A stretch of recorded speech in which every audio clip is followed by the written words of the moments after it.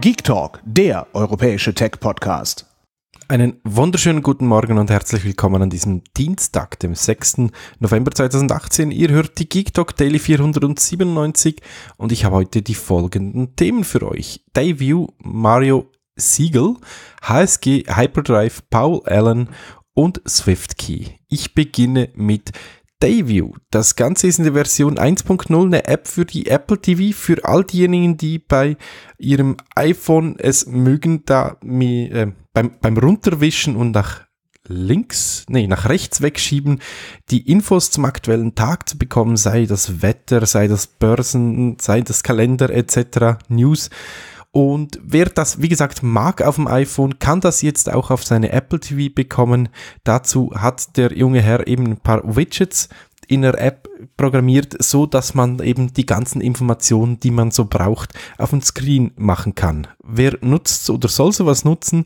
Jemand, der morgens und abends kurz seinen Fernseher anschaltet oder ein, äh, aktiviert und dann auf der Apple TV gleich eine Übersicht haben möchte, was wann und wo äh, aktuell stattfindet. Das macht natürlich in einem Familienhaushalt ein bisschen weniger Sinn mit personalisierten Infos, aber bei Singles und sonstigem Büro und so weiter macht das auf jeden Fall äh, Sinn und ich bin gespannt, wie sich das weiterentwickeln wird, werde das auf jeden Fall für mich verfolgen. Mario Siegel ist ja der Namensgeber, das hat Nintendo mittlerweile bekannt gegeben, für die Kultfigur. Denn früher ähm, als Codename bei der Entwicklung hieß der junge Herr Mario, also vom Mario Spielen, Jumpman und ich bin eigentlich froh, ist der Herr Siegel der Namensgeber des Spieles, weil Jumpman war ein bisschen anders gewesen. Ähm, so, Mario ist halt ein bisschen persönlicher. Wie die Geschichte darum herum passiert ist und was da genau passiert ist, warum der, äh, er der Namensgeber war und was er vom Beruf war, logischerweise im Bereich Klempner unterwegs oder eben doch nicht, das könnt ihr bei uns nachlesen. daily.geektalk.ch, da haben wir in der aktuellen Folge einen Beitrag dazu verlinkt. Die HSG ist die ähm, Universität in St. Gallen und die hat sich jetzt, vielleicht für die österreichischen und deutschen Zuhörer, St. Gallen ist eine Stadt im östlichen Part der äh, Schweiz, die haben sich jetzt einen Supercomputer angeschafft im Wert von über auf knapp 400.000 US-Dollar.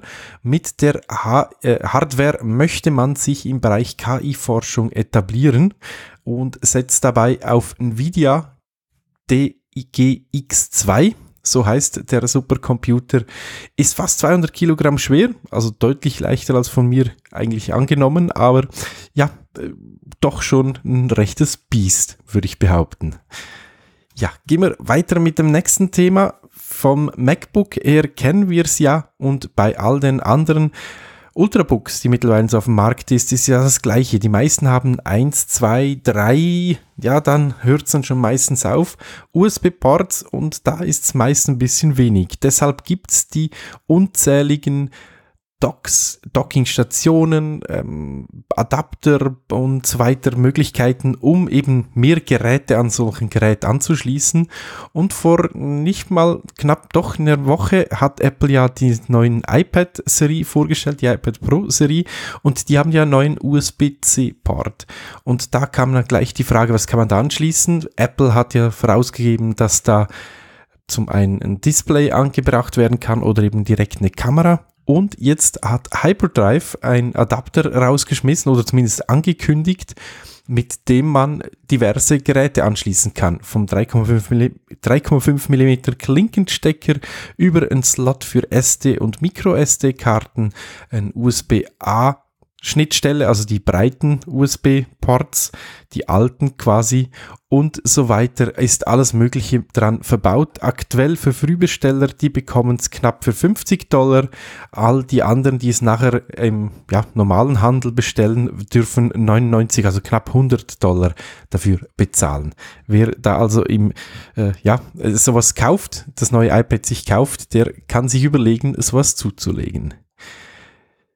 Am 15.10. ist ja Paul Allen, einer der Mitbegründer und auch einer, der Microsoft mit vorangebracht hat, somit ähm, von uns gegangen und er war ja tief verwurzelt, das hat ja Achim damals in der Daily auch erzählt, mit in der Stadt Seattle, vor allem hat er sich da im Sportbereich sehr stark engagiert und ihm zu Ehren hat man jetzt die Stadt, die Skyline der Stadt in der Farbe Blau ähm, erscheinen lassen. Wie das ausgesehen hat, dazu unbedingt mal reinschauen.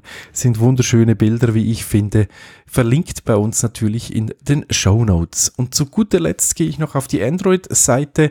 Da gab es Updates von Seiten Microsoft. Die haben ja vor, jetzt ist auch schon wieder ein paar Jahre her, Swift Key gekauft und das auch stetig weiterentwickelt. Da gibt es jetzt eine neue Version, die aber, das wird alle Google-Suchnutzer nicht ganz so freuen, Bing als Standard eingesetzt hat bei der Suchmaschine. Ich hoffe doch, schon Microsoft zuliebe, dass sie da bald wieder die Option bieten, das Ganze optional zu ändern. Auch ein Update gab es zusätzlich auf den Edge, also ihren eigenen Browser, den sie unter Android auch anbieten, wie bei iOS.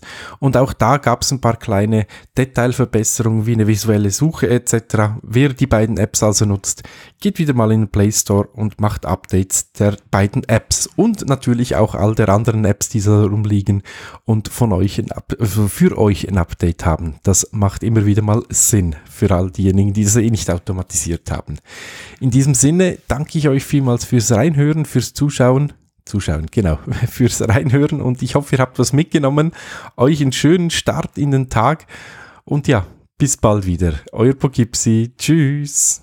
Hört mehr Geek Talk.